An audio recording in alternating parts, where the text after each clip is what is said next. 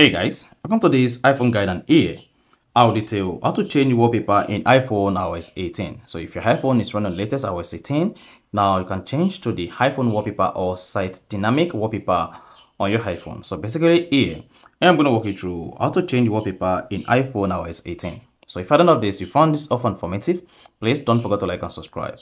Now, there are two ways that you can use to change your iPhone wallpaper on your iOS 18. But here, I'm going to walk you through the simplest approach, which is going to your iPhone settings. And on the settings page, just scroll down. Just keep scrolling until you get to wallpaper and then click on it.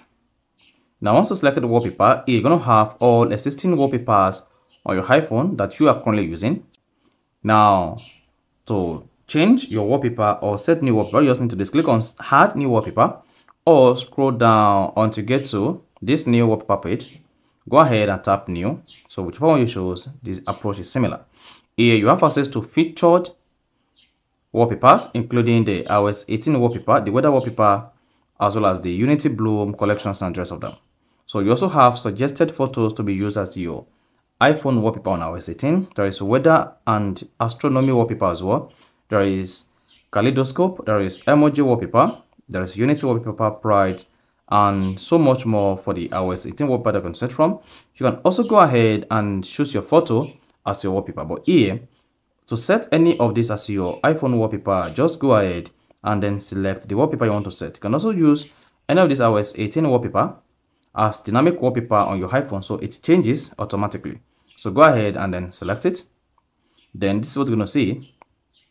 And you can also change or customize the widget that appears on your iPhone on iOS 18 wallpaper once you are good with this, you can just click on this icon to set the light wallpaper, click on it again to set dark wallpaper or automate the process. You can also switch from the dynamic wallpaper you want to set on your iPhone on iOS 18. Then once you find your choice of right, just go ahead and click on Hard at the top right. Then once you tap the Add button, choose a button that says, do you want to set this as only wallpaper or customize home screen? So go ahead and click on Set as Peer once you tap set as you're going to see the wallpaper set as peer. Then click on customize on the wallpaper. Then here tap blur to make the background visible. And once background visible, go ahead and click on done. And then you are good to go. So if you go back to your our setting wallpaper, you discover that the wallpaper is now changed. So that is basically how to change wallpaper in iPhone iOS 18. So if you found this often informative, please don't forget to like and subscribe.